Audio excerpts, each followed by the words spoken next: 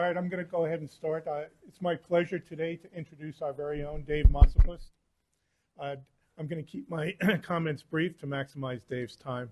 Uh, so, Dave is a professor in the Department of Microbiology and Immunology and a member of the Center for Immunology. And the Cancer Center is lucky that he's shifted or he's included um, tumor immunology as part of one of the areas that he's studying. And the reason that we're lucky is that Dave's work in other areas of immunology has been transformative.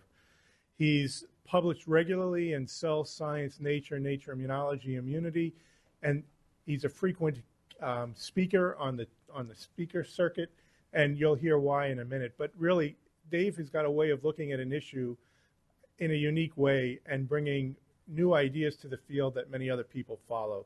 So, and you'll hear more about that. Dave got his PhD at UConn with Leole Francois and then did a postdoc with Rafi Ahmed before coming here in what year? 07. 07. And he quickly rose through the ranks to become a full professor. So um, when I was looking online last night about Dave, I came across an interesting picture from him um, from UConn, and I wanted to just show that to you now. So I, I, didn't realize that Dave was a tuba player and had his own polka band, but you can see that he was at the annual Czech Festival in downtown UConn. So I guess this is what he was doing when he was a graduate student. Um, and when I asked Dave yesterday if he wanted me to say anything about him today, he said to tell everybody that he got a trophy for fishing. Um, I think it was a participatory trophy rather than anything else, but, but we'll go from there. So with that, um, here's Dave. Thanks, David. Thanks, Chris. That was very nice, and I, I do look different without the hat.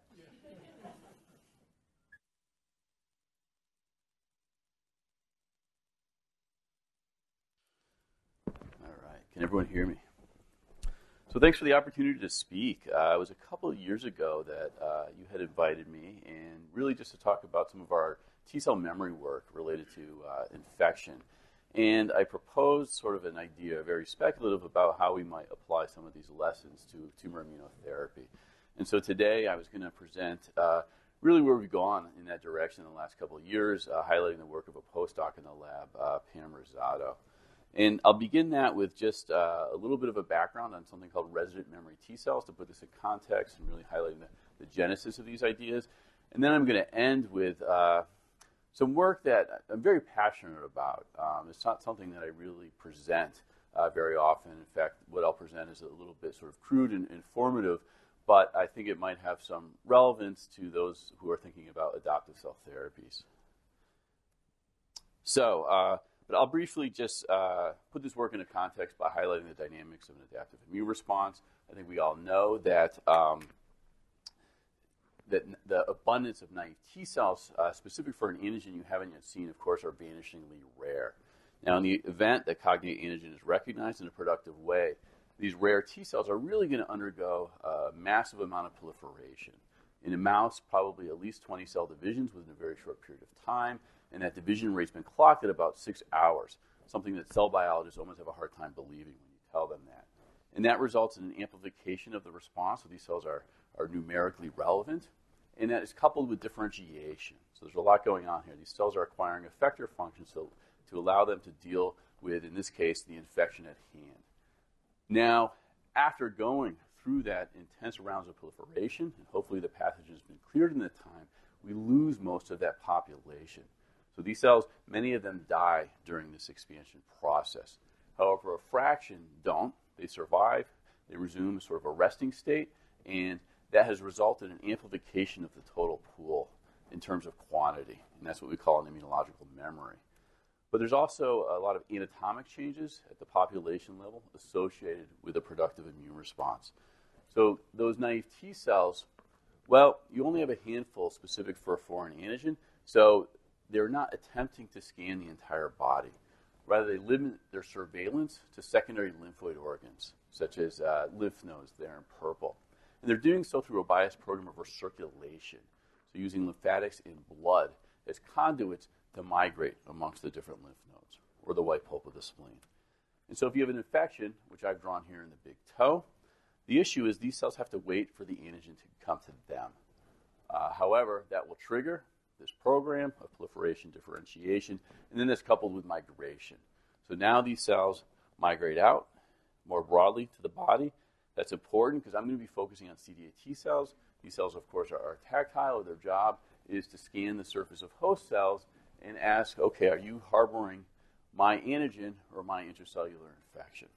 So they have to go to where the antigen is, and they have to look broadly to be able to find those cells.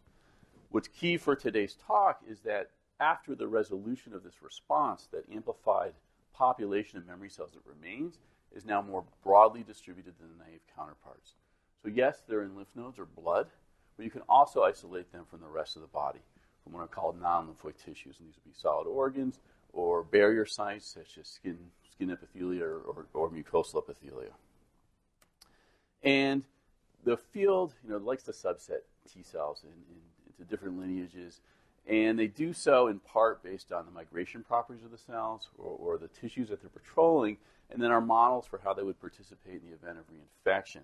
And so if you have cells out here at the front lines, and you have a local reinfection at that barrier surface, these cells would be positioned sort of for more, more immediate recognition of that infection.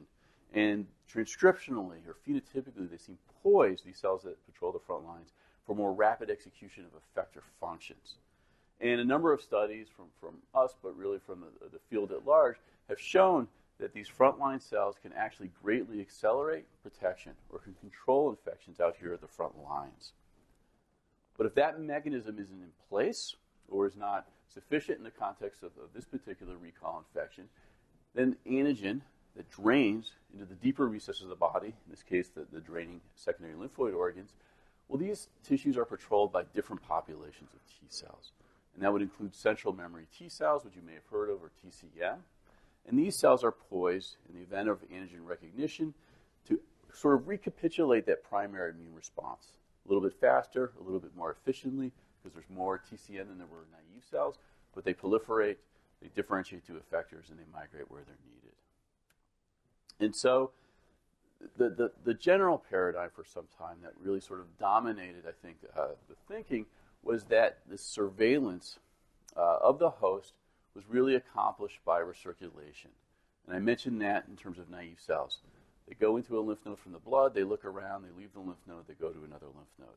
And so the thinking was that memory cells were surveying SLOs in the same way, and different populations of memory cells were surveying non lymphoid tissues, but again, doing so by a program of recirculation.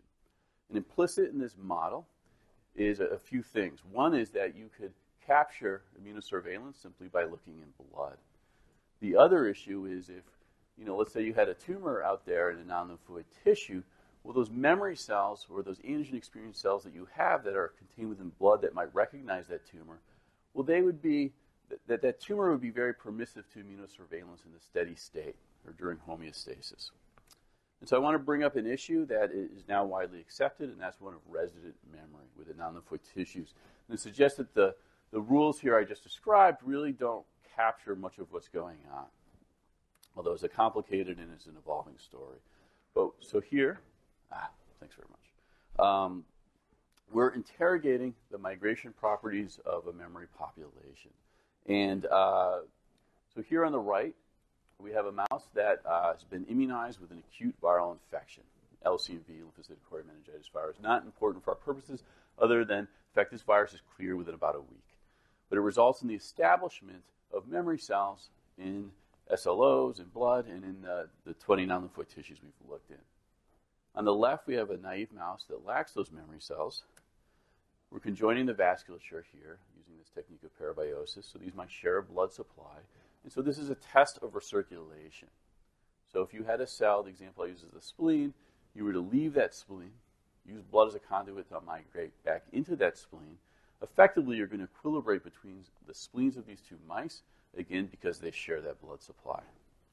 And so that's what happens uh, if we look here on the left. This was our immune parabiont. It used to have twice as many memory CD8 T cells, but they've equilibrated with a naive parabiont because those cells are largely in recirculation. But if we look on the right, we're in the female reproductive tract of a mouse, and there you're not witnessing that equilibration.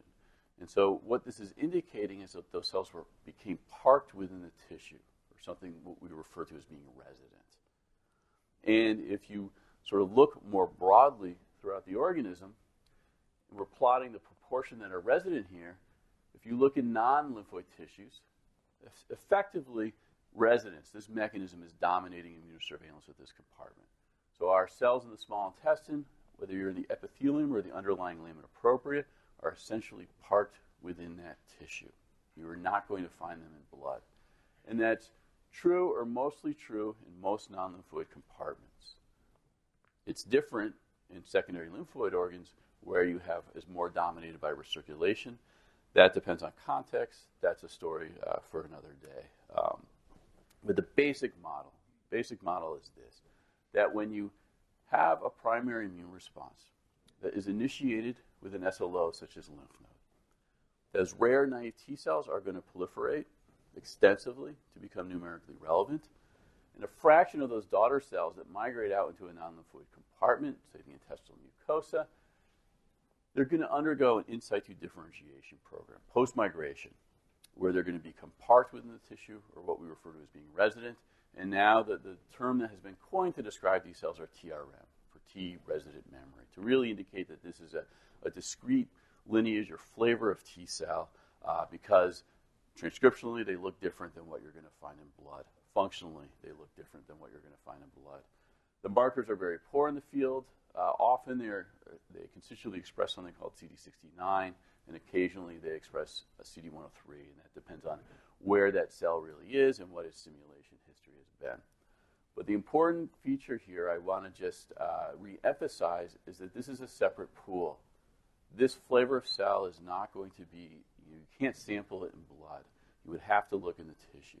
And this raises important issues about immunosurveillance. You know, when you have cells that are relevant within the blood that are in the resting state, you know, there are many tissues in the body that aren't constitutively sort of available or permissive to immune surveillance. A couple other really quick points here. These cells are changing their phenotype post migration. And so, one way of looking at, at it is that they're adapting to their unique microenvironment. And so, I, I pointed out CD69 and CD103 before. These are just two markers. This is the gut epithelium. If you look very early during a response in mouse, uh, these cells come in, CD69, CD103 negative, just like what you would see in, in blood or spleen. But they make adaptations. Post migration, they're upregulating these molecules within the tissue. And if you wait, you know, 30 days, that differentiation program is complete. So, so the idea here, and this, this is uh, work from our lab, but really the field at large. And this is work that, that has a long way to go to sort of complete this picture. So it's somewhat speculative, but again, post migration, each tissue has local developmental cues that are going to shape the T cell differentiation program. This obviously ha- has relevance for when you get into studying T cell biology within tumor microenvironments. All right. So I look at this the function of residence and why the immune system is perhaps built this way is it, is it, it does provide a mechanism for biasing your immunosurveillance.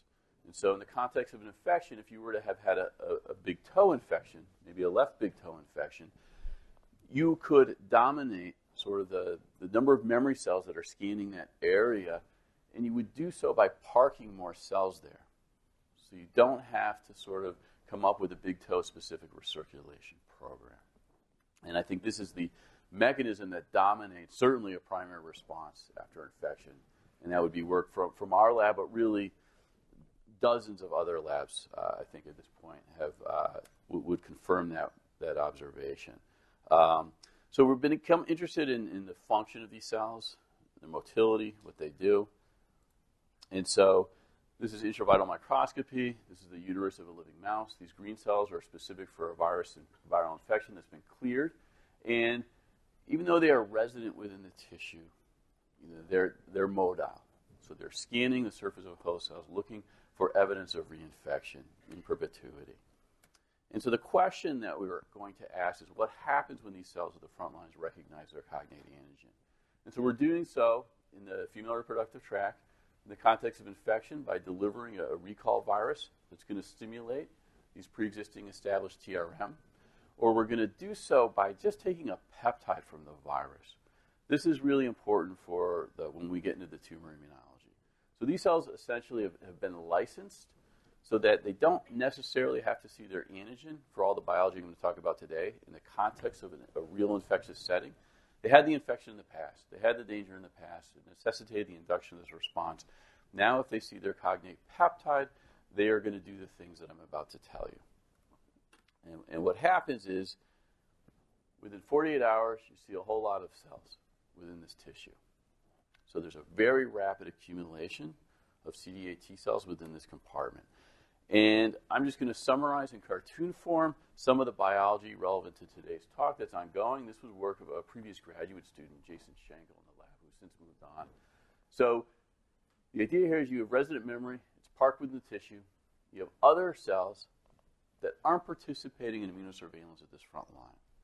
So if you have an infection breakout, well, initially, this is the only game in town in terms of being that very first rapid responder at that frontline portal. But if you have a recognition event, you know what we found is that these cells broadcast that information. So they say, "Hey, I've I've seen this before. I know it was in the context of danger. So if I see it again, I'm going to tell my neighbors." And they do so in part by secreting cytokines, by inducing a chemokine response, by inducing changes in the vascular endothelium that essentially changes the migration rules of this compartment, at least transiently, and allows those antigen experienced CD8 T cells that are circulating and passing by in the blood to now enter the tissue. And this, there really is no apparent specificity in the recruitment for cells of, of just the, you know, the, the relevant specificity for this infection. So you basically pull everyone in. I don't think there could be a mechanism for selecting specificity. I think this is a way of just accelerating uh, immunosurveillance very quickly. This is that initial rapid response. Now, if this doesn't contain the infection, you know, I'm assuming some of these cells are going to be relevant and going to be helpful. But if, if, if, if the infection is not contained, antigen gets out, you know, via dendritic cells or, the virus, down the, you know, the lymphatics into the draining lymph node over here, sure, you're going to initiate uh, the classic recall response you see in the textbook where cells proliferate, mig- you know, differentiate, and migrate. But, but that takes time and that, that's not going to be as quick as this sort of early phase of the response. So it's not just CD8 T cells that are being recruited when local CD8 positive TRM are, are reactivated. To, to our great surprise, you're recruiting B cells very rapidly. You're activating dendritic cells. It does that again, uh, always on a PC. It's CD80, uh, it's CD86. So, so DCs in the local neighborhood are being told that there's a, an infection in the area, even if you do this with just a peptide, uh, they're being told by the CD8 T cell, and they're getting ready to sort of initiate immune responses. And then NK cells are upregulating granzyme B. So the whole idea here is this, that when you have a CD8 T cell positioned at the front lines and it sees its cognate antigen, it, it broadcasts that information, which helps prime or stimulate innate immune cells within the environment, and it helps recruit players of the adaptive immune system. Work we haven't yet published is it also induces transudation of antibodies from the serum to that site. So the whole idea is it triggers an immunostimulatory environment.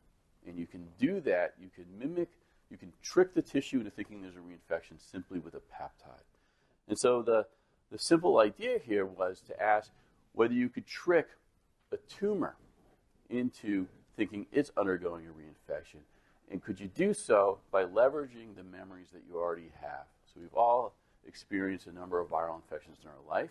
I could guess what you've had because some of them are fairly ubiquitous. And because those pathogens like CMV or EBV or flu are very well studied, you know, I probably know what peptides that you are responding to from those viruses. And that would depend, of course, on your MHC haplotype. So the idea here is can we leverage the memories you have to tap into this function with a simple peptide to do something about changing the, the microenvironment within a tumor to one that is more immunostimulatory. So, the, to have precedent for this, we had to start looking in human tumors. And so we were very lucky to work with Melissa Geller uh, and with Bionet, who've been incredibly helpful. And so we screen blood from patients that are coming in to get their tumors resected. And we just made four tetramers, uh, two to EBV, one to CMV, one to flu. Uh, and we made them to HLA-A2 because about half of Minnesotans are, have that haplotype.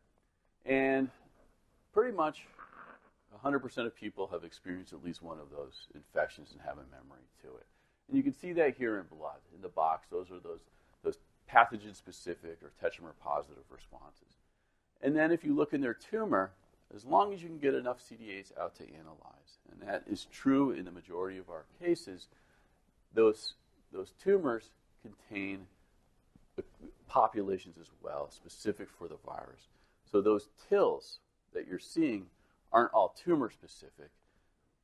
T cells, these, these cells are surveying your body, and the tumor is part of your body, and those are coming under this surveillance as well by the sort of antiviral CD8 T cell population. And if you look at the, the phenotype of these cells, you know, I don't know if it's too relevant for the story, but you know, in blood, in red, you know, these cells wouldn't express CD69 or CD103. However, in the tumor, Many of them are 69 positive, some are CD103 positive. This, in a way, is the expectation and a clear indication. We're not looking at blood contaminants here. So this is a population that is, is, is, is unique in terms of its phenotype and its position within that tumor microenvironment. And not to belabor the point here, uh, but, but Pam has, has looked at a lot of tumors at this point, and if you look at the abundance collectively in blood, how many, what proportion of your CD8s would be specific for flu, EBV, or CMV? you're going to see actually a higher abundance in the tumors. And again, maybe I'm not surprised because these tumors aren't going to have naive T cells, but a lot of those TILs are potentially pathogen specific. That's that's the data that we have. And so, again, uh, the whole question here is: Can we can we leverage these? Can we use the T cells almost as an adjuvant because they have this broad range of biological functions, probably some of which we have not yet defined, but they can be unlocked with a simple peptide that, again, tricks the T cell into thinking that there's a viral reinfection that's been experienced before in that tumor microenvironment, and then to trigger activation of the innate immune system and recruitment of the adaptive immune system.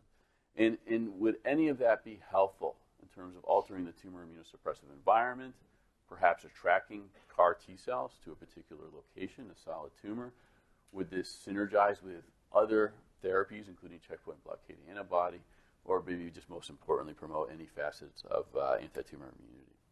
So to get at those questions, we had to go to mice and uh, mouse tumor models with, with, their you know, inherent limitations.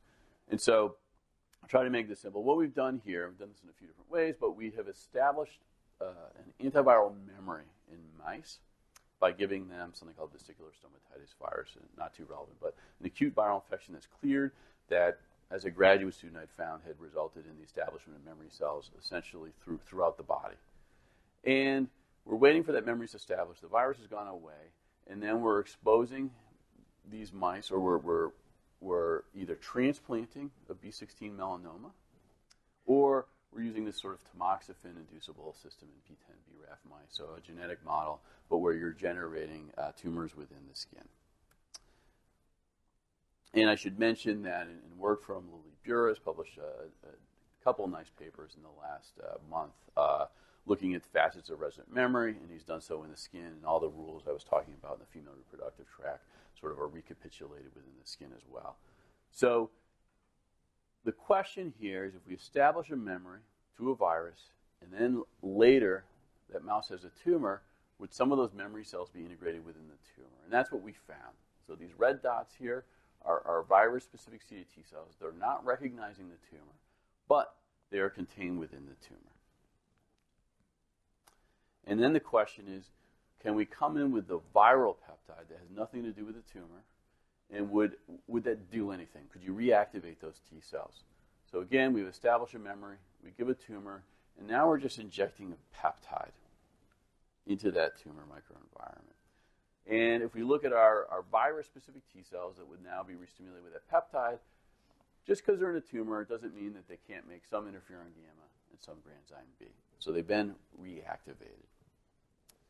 And if we look at the consequences of that reactivation, so I'm, we're sort of calling this bystander CD8 T cells for lack of a better word. So you're recruiting CD8 T cells to that tumor microenvironment. We're excluding the ones that would be specific for this virus. So other CD8s are coming in. You know, we don't know whether any of them would be tumor specific or whether they would be specific for you know, other microbial uh, experiences in the past. But they're migrating in, and NK cells are also increasing in number. And these cells, uh, or at least some of them, are upregulating things like granzyme B, part of the cytolytic machinery that would indicate that these cells are maybe getting prepared to, to go to work, like I said before. So again, you know, NK cells are expressing much higher levels of, of granzyme B if you've had local T cell reactivation. And then if you look at dendritic cells, basically you're seeing uh, an increase in the activation of DCs and an increase in the number of DCs that have a migratory phenotype, specifically within the draining lymph node. Uh, and these are, are express activation markers as well. So we, we suspect they're probably coming from the tumor, but we haven't actually tested that specifically. If they were and they were in an activated you know, state, the hope would be that they would be carrying some tumor antigens, uh, maybe with them, that might help educate the immune response. But again, that's speculative. And if we just look more broadly, so here we're doing RNA-seq. This is literally just nine hours after the introduction of that peptide. There's a volcano plot. And what you might be able to appreciate, or maybe it's data overload, but there's a lot of, of genes being expressed that are associated with sort of immune stimulation. So a lot of chemokines that can induce recruitment, uh, cytokines such as you know, interferon gamma here, and then you know machinery associated with antigen processing and presentation. So TAP, uh, beta 2M is coming up, and just sort of pilot experiment if you just stain for MHC class 1 on these sort of B16 melanomas, which is, and it's a low class 1 expressor, but it, it looks like it is induced uh, quickly and to a much higher level as a consequence of antiviral CD8 T cell activation. And so the, the critical question is, would, any of this have relevance for tumor growth? So in this experiment, all we're doing is inoculating the peptide. In, in this case, in, in, sort of on at two intervals, 48 hours apart. We're doing so in a B16 melanoma that's palpable. We've done this in the P10BRAF system as well, and we've used, uh, I won't go into all the details, but uh, so here's your tumor, here's your control in black. It's a rapidly growing tumor. If you give peptide, then you've blunted that growth kinetics. Blunted it, but clearly not, no mice have cleared this tumor. And so you haven't rescued any of the mice, you've just prolonged uh, the inevitable. Now, the question is if you were to, to, to incorporate other immunotherapies, and the only thing we've tried is anti PD L1 uh, to date. So we're giving, we're, the, the tumor is palpable, we're giving peptide twice to stimulate the antiviral T cells, and then we're coupling this with three shots of anti PD L1. And if you just gave the anti PD L1 alone here, you know, this tumor is not particularly permissive. Uh, so you don't, you don't change the, the growth kinetics very much or prolong the survival. If you give peptide alone, you know, you get an efficacy signal, but again, uh, not ultimately curative. If you were to combine these two things together, then the results look a little better. So here, you know, we haven't cleared all the tumors from every mouse. So some of these mice have been the, have been culled out uh, because the tumor's gotten too big and the mice had to be sacked. Uh, and you can sort of see that here. But, but about a third of the mice are, are being poised to eliminate this rapidly growing B16 melanoma, which is a, which is a hard tumor to reject. And if you were to come back and uh, you know, a couple months later and inoculate that mouse again at a different site with this B16 melanoma, and you aren't providing any therapy at that time. You know, most mice that, that had been cured will reject that tumor. So this would be suggestive that some sort of systemic anti-tumor immunity has been established uh, through, through this process. All right. So the summary thus far is that we're using antiviral peptides here that, that would be common. So they're not tumor antigens. It wouldn't be personalized medicine per se, other than the fact that we would have to leverage the memories that you've already had, and that would require some sort of blood screening. But those peptides would be fairly sort of ubiquitous. Uh, many of us are responding to the same you know, peptides from CMV or EBV. Uh, we're not using an adjuvant here. We're not vaccinating. Uh, we could vaccinate, or you could use an oncolytic virus, or maybe you could combine this with a radiation or other sort of uh, ideas, but, but we've just uh, started small here. But it promotes an immunostimulatory environment. It synergizes at least with anti-PD-L1 to promote tumor clearance, and then in this model, uh, systemic sort of anti-tumor immunity appears to have been established. So, you know, one of the major questions here is can we recapitulate this in humans? And so I, sadly, I don't have a complete answer for you. I'll tell you what, what we do have, and this is uh, preliminary. Uh, in five to seven weeks, we'll have more sequencing, and it won't be preliminary, but I, but I think the evidence is, is strong.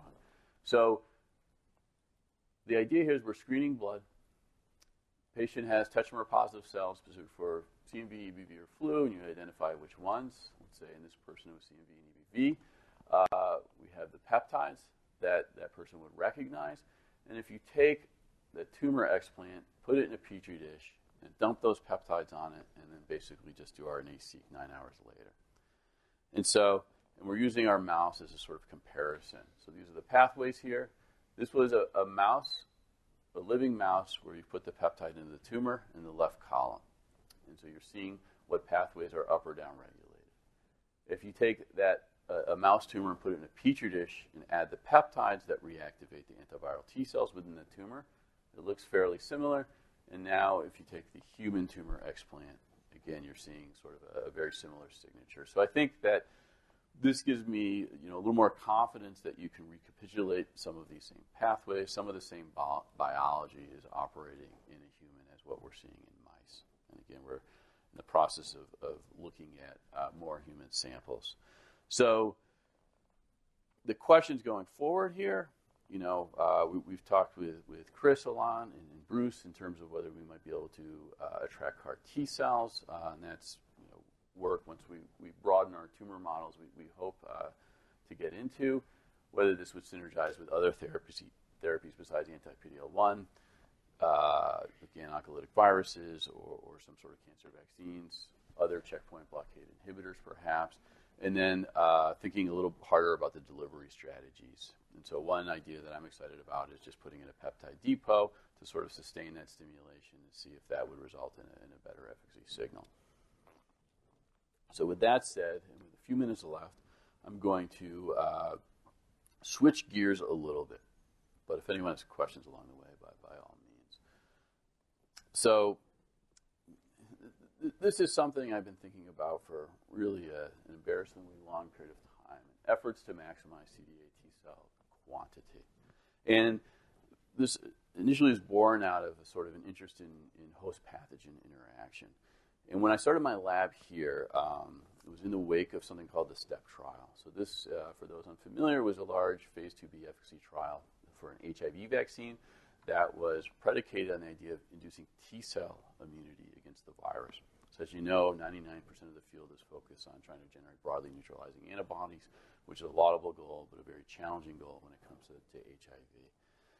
So these were three homologous immunizations. The, the major point here, this vaccine was thought to be good based on the magnitude of memory established. And so 76% of individuals had 55 spots per million PBMC, meaning there were 55 you know, T cells capable of making interferon gamma out of a uh, in response to HIV. And this was thought to be a very high magnitude relative to, frankly, some very, very poor vaccine vectors. And so the history of vaccinology, uh, particularly in the safety first era, the more recent era, you know, most of our vaccine candidates really don't induce good CD8 T cell immunity, you know, which responds very well to live replicating agents. Uh, not so well to things that don't really uh, colonize intracellular compartments. Um, so, nevertheless, 55 spots per million, 500 spots in the outliers, the people who responded the best. But there was no efficacy signal. It's a little more complicated than that, and post hoc analysis can carve things both ways. There was likely some viral sieving, some some efficacy here, but clearly uh, not in, not not nearly productive enough uh, to, to, to move this forward, and there were some downsides to the vaccination as well. So it's 2007. I didn't know how to do immunohistochemistry, but I was trying to think of what this sort of quantity looked like. And so it's a silly picture here, but if you had a playing field of a million PBMC, pure, pure lymphocytes, and I were to put an HIV specific CD8 T cell here, you know, that's what it would look like relative to the larger playing field. So just to get a, a sense of the battlefield. But when we're thinking about HIV transmission, we really have to think about the mucosa, which is not made out of, of pure PBMC or certainly not pure lymphocytes. So we have to extrapolate this image, and so you end up with something like this. There's your HIV specific cell, and in a two dimensional battlefield, it would look something a little more like this. And so, you know, what I didn't know was, you know, the biology of the cells of the mucosa, how fast are they moving, uh, how fast, if you have a, a rare founder cell, and that's the only good thing about HIV transmission, is that you know that barrier function is effective, and so the number of productive founder cells for productive infection, you know, may be as low as, as one, um, and that's based on you know con- just uh, concordant couple studies and uh, barcoding in, in monkey experiments. But you would have to have that CD8 T cell find that cell and do something about it before you had that explosive replication that accompanies this infection. And I was worried that that wasn't enough. In a way, this kind of these kinds of pictures is what's driven my research program, which I try to understand the biology at the front lines of, of T cells. But without knowing much, the question was, could, could we do better, at least in a sort of theoretical basis? Could we get more memory out there at the front lines? And so I'm just going to share with you uh, some work on something called heterologous prime boost, boost vaccination. I don't really want to go into all the details. The point is, it's an iterative stimulation. So your T cells are being hit and rested, hit again to expand again, rested and hit again. We're using immunogenic vectors. We're in mice. The idea is that each vector shares something that you want the CD8 T cell to respond to, but you package it in a different vector with different outer surface determinants to avoid any you know, interference with, with other immune mechanisms such as neutralizing antibody. We want to focus the response on the CD8 T cells. And so this is what a prime looks like in a mouse. And this is, a, this is a pretty potent vector here. It's our effector response, and this is what memory looks like. So 1, 1% of our CD8s. If we come along and boost, you get more memory. So you can build on that magnitude. And if you gave a third boost, this is you know point back in the day when I think I fell you know, out of my chair in front of the cytometer, but uh, 60% of the CD8 T cells in the blood of these mice are specific for a single peptide MHC determinant that we've driven the response to. And this was true, you know, 150 days after that tertiary immunization, about as long as we can go in, in these mice. They only live so long. So that's a lot of cells. That's a, an astonishing quantity. This is a mouse, you know, and so it, you know, it doesn't mean that we can necessarily recapitulate this in human, but I think it does describe what the immune system is capable of. This mouse started with about 200 naive CD8 T cells specific for this pathogen. And this is a polyclonal response looking at the, the endogenous naive T cell pool, which is you know, rare for this peptide, just like it's rare for, for every peptide. One thing I'll mention is that you know, with each iterative stimulation, you're increasing the number of cells that you would find like in a lymph node, but you're sort of proportionally increasing the number of cells that you're going to find throughout the rest of the body. Because it's a mouse, you know, would this translate to primates? Uh, so here we're basically doing a similar strategy. We're inserting a full-length SIV gag. SIV simian immunodeficiency virus, and this would be the the model of HIV that is pursued in primates. And in fact, we're, we're doing a lot of vaccine work in primates and looking at uh, whether we can get a, a, protective efficacy signal by driving the CD8 compartment much harder. And this has uh, been very provocative work and, and, rewarding, but also very long and winding. Uh, but we'll, we'll know within a year how, uh, whether we can confirm previous res- results or not. So here you've primed in a monkey. This is uh, just looking at one epitope from the SIV gag that's in the vaccine. If you boost, you get more memory. If you give a tertiary, again, you're establishing very, very high frequencies uh, relative to, to other modalities. This is the vaginal mucosa. This would be the site of challenge for these monkeys. Uh, that's the, now the most common site of transmission in humans. And every red dot here is an SIV gag specific CD8 T cell. This is 300 days. This is wrong. I should, way old slide I put in here. Uh, about 296 days after that final immunization. And so uh, 2% of every cell is an SIV gag specific memory CD8 T cell. Not every, not 2% of, of T cells, 2% of cells. So again, primates have the capacity to generate astonishing magnitudes of, of memory uh, out here at these front lines. So why are we getting so many memory CD8 T cells by exploring this strategy of iterative stimulation? Part of the answer is that we're building better effector responses or bigger effector responses after that restimulation because we had more memory cells. You know, here in the primary we started with, with only 200 naive T cells. So they had to go through these two, you know, 20 some odd divisions to, to, to create this population. And then most of our cells die. When we stimulate them again, they're starting from a higher point. So the burst size is bigger, but you don't see as much contraction either. And that's an important part of what's going on here. And in fact, when you get to the tertiary, where, where you'd only get you know, eight memory cells for every 100 sort of proliferated cells, now you get 50. So what's going on here? This is a busy slide. I'll just kind of verbalize it. But the, the issue with this kind of boosting is that there's sort of a, an axiom in the field that you can't have quantity and preserve T cell quality. And this may come from old experience trying to generate you know bajillions of T cells to infuse into people. That would be specific for tumors. This comes really from a lot of mouse immunology that use tricks of mouse immunology to interrogate what happens when T cells are overstimulated.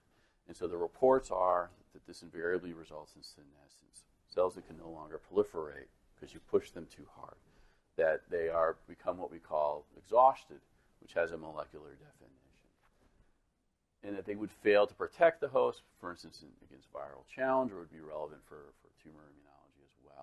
But again, these are either based on extensive sustain, sustained in vitro stimulation or reductionist approaches that for, uh, that for reasons I won't go into, but makes the experiment easier if you're a mouse immunologist.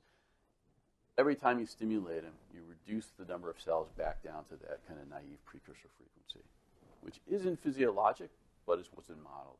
And so that does result in senescence. The fourth time you try to stimulate those cells, they're basically uh, out of gas.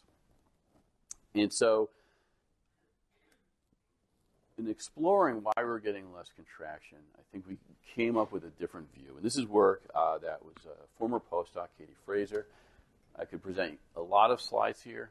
It, it's too long and complicated. I'll give you the, the short and sweet uh, story, and, and, hopefully you follow me and believe me. Um, but I'll show you some, some, some interesting data later in just a couple of slides. So the idea is this that when you start out with 200 naive cells, and now you have a viral infection, to be numerically relevant, these cells are dividing every six hours. You got to go fast because there's a pathogen. You're accumulating again these you know, 20, at least 20 cell divisions within a few days if you're a mouse. There's no cell in an adult organism that I know of that can sustain a rate of division every six hours. My understanding is HeLa cells take about 20 hours. So these cells First of all, they pause. It takes about 30 hours to go that first division because they're increasing their, their cell volume by about sixfold in preparation for this. And I think they're going as fast as they can. So by the time you get to division number 20, you know, at the population level, if you look at mitochondrial mass or, or mitochondrial membrane potential, it's terrible. If you give these cells more antigen and try to, to get them to proliferate more, it's not so good. And in fact, we're losing most of these cells. Most of these cells die. You know, maybe they're not keeping up with DNA repair. Maybe this is important that if you allow a cell to accumulate 20 divisions within five days, you know, to prevent cancer, you just you, you break metabolic speed limits. You don't worry about it, but at the end of the day, that cell is going to be sacrificed, and only a few of our cells you know, live on to fight another day. And perhaps the cells that underwent the, the least amount of stress during this process, and there's a lot of good evidence for that. When you get to a tertiary response, you have a million brothers and sisters if you went through 20 divisions and you're a mouse, you would explode because you'd have too many T cells. And the reality is, when we've measured this, they only go undergo about seven divisions. And now they go through this effector phase, but by a week they look like a memory cell at sort of a metabolic level in terms of mitochondrial mass. Put them on a seahorse assay, ask them to proliferate again. So it's a very transient window of proliferation. It's not this crazy long sustained proliferation. And so, again, too many words. The point is this if you iteratively push CD8 T cells through 20 divisions and you do so repeatedly, they become terminally differentiated and senescent. And the issue becomes what if you don't do that? What if you treat them more gently? Yeah, you go through 20 divisions the first time, but then you allow you know, the population in a more physiologic way to proliferate seven times within the window, not 20. Would that prevent this terminal differentiation program? You know, could you have everlasting division potential, or are things like Hayflick's, you know, uh, going to come into play, or all other kinds of things? That means you can't have magnitude and, and, and maintain quality. So the trick here is we're not pushing CD8s through 20 divisions every time, and we are resting the cells between each boost. So this would be a quadrant. So we primed and boosted and boosted. So we have tertiary memory. Now, mouse is getting old. We're going to take a few of those out. So we're going to cheat. This is going to be unphysiologic. We're going to take a few of these cells out, put them in a new mouse, ask them to go again. Could they proliferate again? And so the answer is yes. This is what we've transferred. That's what you can see in blood, those four dots. And then if you were to give them a boost, they go gangbusters through a quaternary. So the, the, simple question was how long could we keep this going? And I didn't intend for this to last as long as it has. So, so this is 2,500 days ago that we started this experiment here. And, quite embarrassing. We're up to the sort of 29th vaccination. Um, what happens? Well, I guess it's old data, it's the 25th, but the population after transfer is still going gangbusters. So we have you know, these T cells are older than any mouse can ever live. Uh, we have trailing cohorts. This is a repeatable phenomenon. And they have sustained the capacity to divide. These are not cancerous in the sense that if you transfer them and don't give them TCR stimulation, they will just sit there. So you, you have to trigger the cell. And they're not exhausted. They're not exhausted in terms of senescence. If you stimulate them with peptides and ask them to make cytokines, they do. So the whole idea is that this idea that you drive cells to senescence is not an axiom. It's not axiomatic. It depends how you treat the cell. We've sustained cells that are not senescent, not functionally exhausted. We've done the math. I think we're up to at this point of one naive T cell has produced enough, you know, memory cells to fill Lake Michigan, uh, and we're, you know, soon we'll be up to Lake Superior.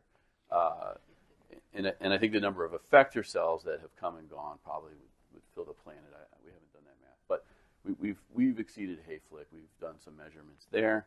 Um, and the last, the very last thing I'll present very quickly is there's a lot of cool biology. So I, uh, it's almost become a cell biology project and thinking about immortality and, and you know, maintenance of proliferative capacity. Um, but it's been a useful tool for us to understand memory differentiation by making a, some things obvious that uh, we, we, weren't uh, carefully examining things enough to notice along the way without doing this kind of extreme of nature experiment. The one tiny thing I'll show you, which is data that's about a week old, is that these cells, after iterative stimulations, don't, uh, don't look like resident memory cells anymore. They don't have some of these markers. So in a primary, everybody looks like this. In a tertiary, you start to get some cells that don't look like TRM in the gut epithelium. And after by a 15th an area, they're gone. So we've known that for a long time. We finally did the parabiosis experiment. Are these residents that just don't look like residents, or have we changed the migration rules?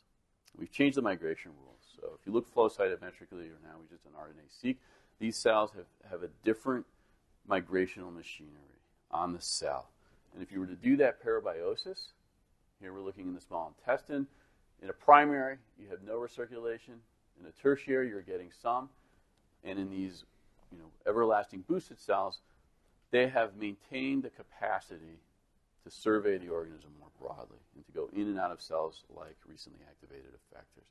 So that's my final point there. You know, there may be some interesting ramifications from an adoptive cell therapy point of view that, you know, you could generate a lot of cells that maintain the kinds of qualities we like, uh, even if they may deviate from the phenotypes that you're looking for, and you may even have overcome this sort of limitation of this phenomenon of resonance by allowing these cells broader access to the organism. And so uh, I just want to acknowledge people who did the work. Some former trainees, uh, Katie Fraser and Jason Schenkel, were instrumental in terms of uh, generating the nidus of the, the projects I shared. And then uh, the work I shared today uh, really came from Pam Rosato or uh, Andrew Sorens. And thank you.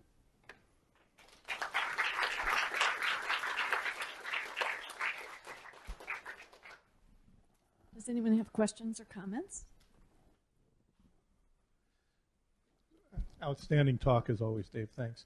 So I have a question about the um, the systemic immunity that you can elicit in the in the in the model with B16 melanoma when you challenged. Yep. So so your data then would argue that tumor-specific cells have then left the site of the tumor, right? Migrated and parked in the tissue that you then subsequently challenged with the tumor. So have you ever looked in the skin of of mice to see if those TILs have actually moved there before you put the tumor in? We- I guess the tumor challenge and you know is is the better experiment. Yep. No, so it's a good question. So one could invoke that, as you've said, that you know tumor antigens have been liberated through this process. You've primed a tumor-specific T cell response that has you know, migrated out as a diaspora broadly throughout the organism. And so, if you get a tumor challenge, whether it be in the big toe or the other flank, there would be cells on site to sort of deal with that challenge. So we haven't, in part, because the tools in the B16 that we're using, you know, haven't aren't aren't outstanding. Um, I, I would like to start looking more at what kind of tumor-specific immunity is established on a more, you know, refined sort of T-cell specific way. We haven't done much there. I'd love to talk about what you think the, the best approaches would be. Yes.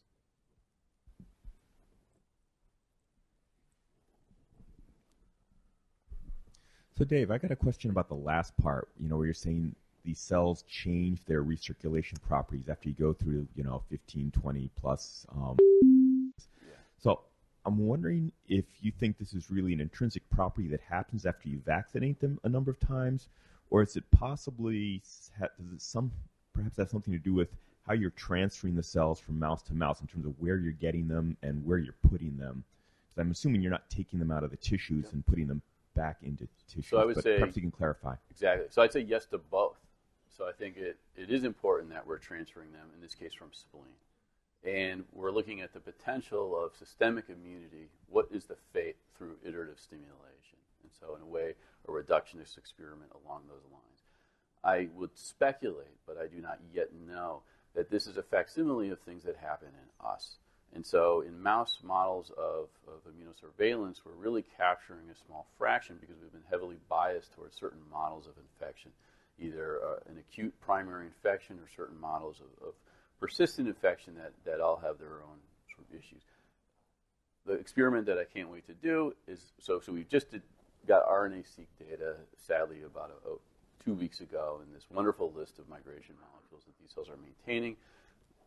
I, I can't wait to look at CMV specific cells where you have this kind of sort of internal systemic boosting going on. These cells we already know have some very weird properties. I want to see if, if, if that's the human correlate with our, our silly everlasting boost. Tom. I can get there.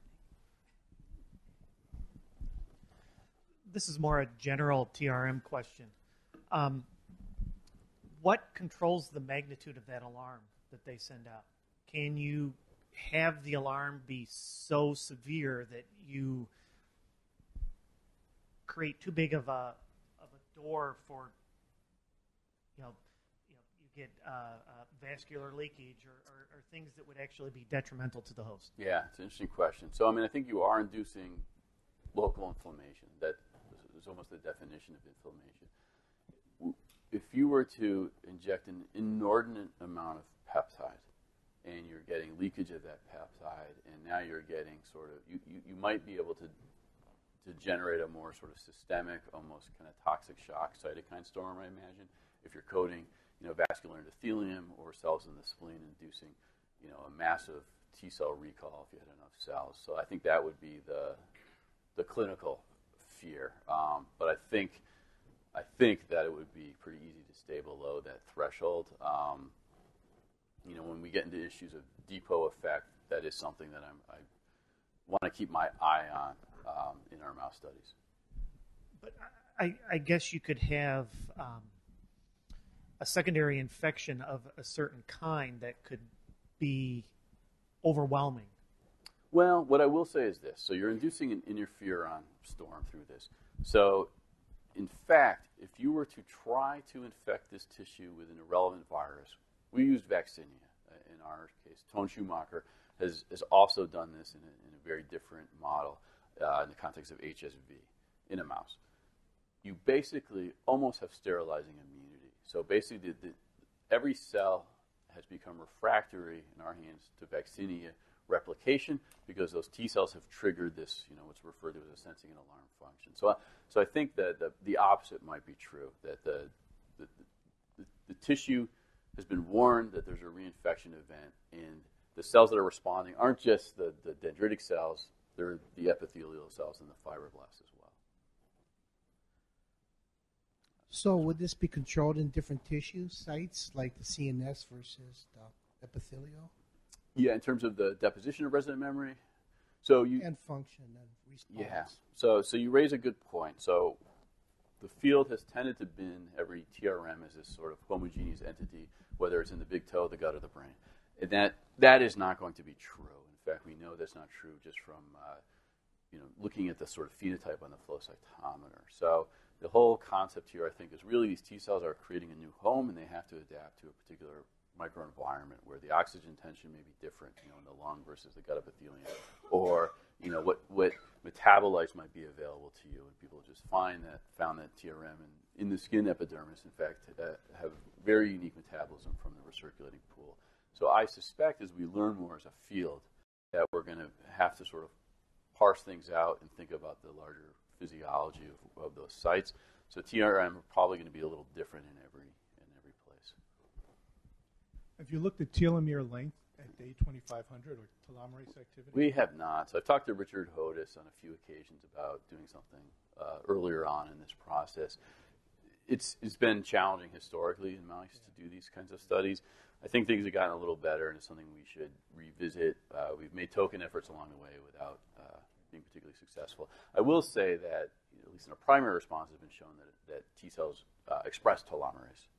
So, so it may, may or may not be shortening here. Here's the mic.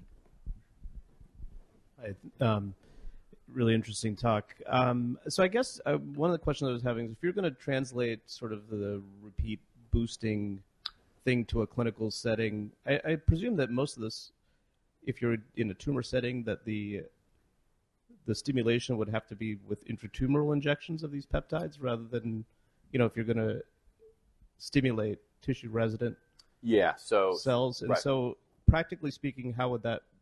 I mean, I think we've been st- starting to do intratumoral injections for a variety of different clinical trials. Um, and so it's been something that I've been thinking a lot about is because I, I do oncolytic virus therapy and we have a trial right now using VSV actually in, uh, in patients, but it's intratumoral and it's pretty complicated to do it more than once.